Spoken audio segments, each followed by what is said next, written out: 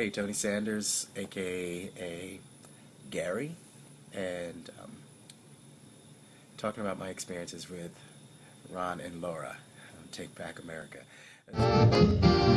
It's um, it was one of those great moments when I got the call from Janice to do this uh, film um, that I was I jumped on board right away simply because of who I know Janice to be um, as a person and as an artist, and absolutely I would whatever she called me to do, I'd be there to do.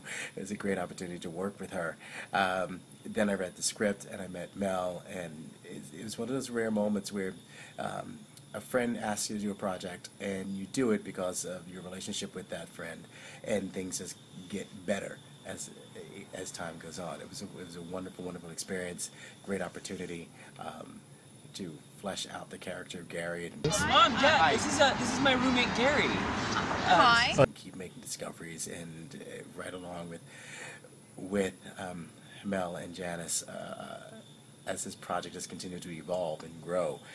Um, so yeah, it, it, it, might sound cliche, but it was just it was one of those wonderful moments for, as an actor to just be able to work with people who understood the process, and um, we had a lot of fun at the same time, and uh, and a real important message too, and presented in a what I think, um, if you'll pardon the expression, a very uh, fair and balanced way, and but still in a very funny way also. I think it's important that we, we we interject some levity into that into this process whenever we have a chance to, uh, especially when exploring such uh, touchy subjects.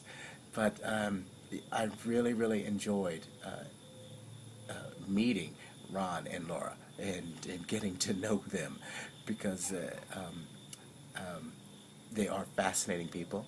They are um, very real people, and they're Americans, and I, I, and that's I think that's really important that we we um, we poke we sure we poke fun and, and uh, add their plight, but at the same time recognize that their story is very real at the same time, and that's what makes this project so important and so special. Is that this is a very real story at the same time. It's just pushed to the point of hyperbole, maybe, but it's a very real story. And um, and all in all, I was very very happy uh, to be asked, but at the end of the day, very proud to be a part of it. So yeah, I hope you enjoy it as much as we enjoyed making it.